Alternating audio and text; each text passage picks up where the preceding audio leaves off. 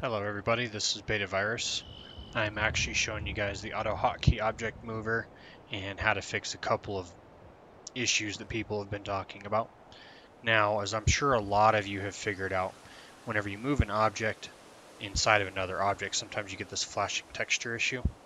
And the easiest way to kind of resolve this is to move it down, up, forward a little bit more than the other. Now, in my opinion, moving it by an entire one degree is rather drastic and noticeable. So in this example, we're going to go ahead and click on this one, drop it down, and you can see that it kind of really, really does stick out. And you view it from an angle, you can kind of see the seams. So I want to go ahead and move it back up one, and then I'm going to go ahead and modify its position by less than one. So in this case, 0.0 1. Or actually, let's just do 0.1. As you can see, not nearly as drastic. You don't see any extra seams right here where you saw it earlier. This, unfortunately, still has a line in it, but that's because it's merging two meshes. But they're not flashing, which is the whole point. Um, you also don't notice the extra dark color on these little grids because they are actually only so minorly off that they actually look seamless. Now another issue that people have talked about is whenever you move an object or twist an object. So in this case, you can kind of see how it got blurry. Now, for most people, one way to do it is just to go ahead and pick up the object and place it back down once you've moved it into position. Now, in rare occasions, that can actually cause the entire piece to reset back to its position, its original position, um, if it was drastically changed previously.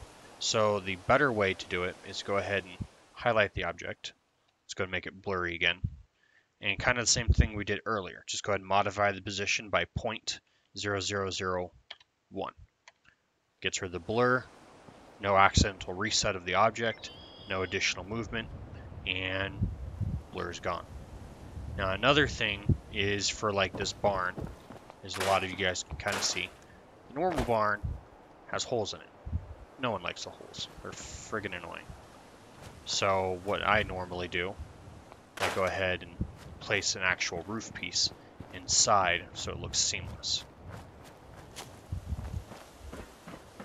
Now in this one, this is very tedious work, but you know, if you're a perfectionist like me, it's worthwhile.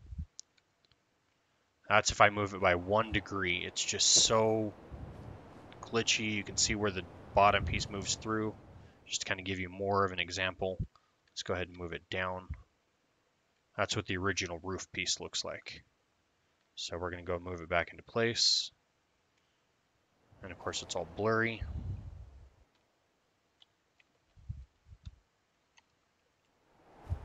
So hopefully that kind of helps you guys with understanding what I do in order to kind of get rid of the blur easily and not accidentally reset my objects and how to get rid of the little flashing texture when you're overlaying pieces like this.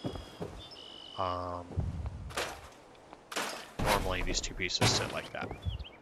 So, alright, well if you have any questions, feel free to message me in the comments.